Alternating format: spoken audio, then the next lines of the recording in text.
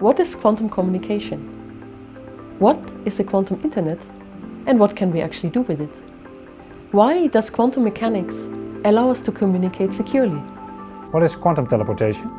I'm Ronald Hanson and I'm building a large-scale quantum internet at QuTech. The first step will be to build a quantum network connecting several cities here in the Netherlands in the next five years. To realize a quantum internet, we need qubits that can travel long distances. For this we use optical communication, connecting network nodes that are essentially small quantum computers, comprised of NV centers in diamond. As a master student you can contribute to building such a quantum network. Here at QuTech Academy you will learn how to realize the quantum hardware that we need to build a true quantum internet. I'm Stephanie Wehner and I work on the theoretical challenges of building a quantum network.